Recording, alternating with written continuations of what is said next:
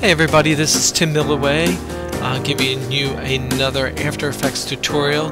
Today uh, we're going to learn how to export a lower third um, out to Premiere Pro and if you work in the broadcast community out to um, broadcast broadcast Pix which is a brand uh, that's normally used in a studio um, so um, yeah, so let's get going here.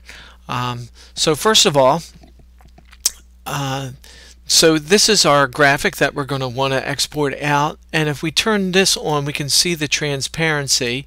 Um, if we build a lower third like this we want to build it without a background to it and um, uh, so this is the transparency up here and this is the graphic so um, we're going to learn how to export that out of there this first first is for if you're going to load it into Premiere Pro or Final Cut Pro or another editing software. So we're going to come up and we're going to add to render queue.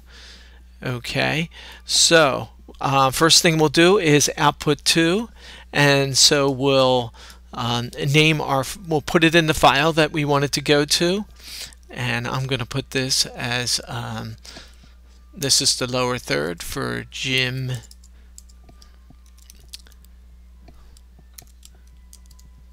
McGrory and, um, and we're going to save that. I don't think you can see that up here but we're going to hit it hit a save down here. And then we're going to come out to output mode. And here's the important part is that excuse me we're going to want it to go to RGB and alpha. And the other important thing is if we go to our format our video codec should be animation. Uh, we can leave everything else the same. And um, and and if you have audio we'd want to click that audio in there. Let me move this over a little bit. And we hit OK. And basically that's it. We render it out. And uh, and you can that will render without an alpha with the alpha channel so the second part is if we want to export this out to to uh, Broadcast Pix, which is a studio software, uh, studio um, program. And the way we're going to do that will be in our main in our composition for the third. And again, we'll go to um, we'll go to new uh, to composition, add to render queue, and um, and we're going to go do the same thing again. We'll let's uh, name this uh, lower third, uh, Jim McCrory and again you can't see that down here but I am saving it and it's right now it's saving it as a QuickTime movie. What we don't want that we want to go over to output mode and we're going to change this from QuickTime to a Targa Targa sequence.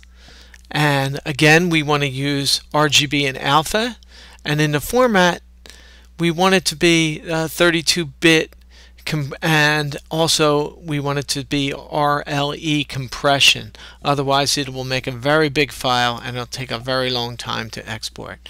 Um, this is a sequence of about five seconds so it's going to create a sequence of about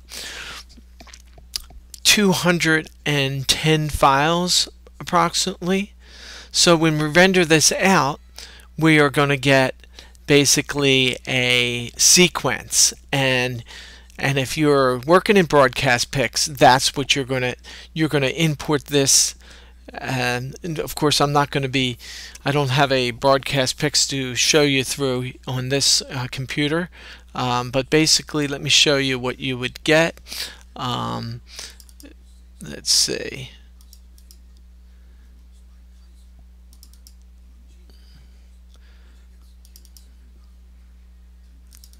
Let's look at Brian Cahoots and this is going to be your output. It's going to give you a TGA file and approximately 213 for 5 seconds and that's what you would ex export into your system for broadcast Pix. And for the MOV, it'll be an MOV file, and that will be uh, you can export that directly into Premiere Pro or Final Cut Pro or whatever your software program is. So um, thanks for watching. Be sure to subscribe and thank you again. And we'll see you next time. We're back. Let's get started. So first we are going to we are going to go to and make a new composition and you can hit command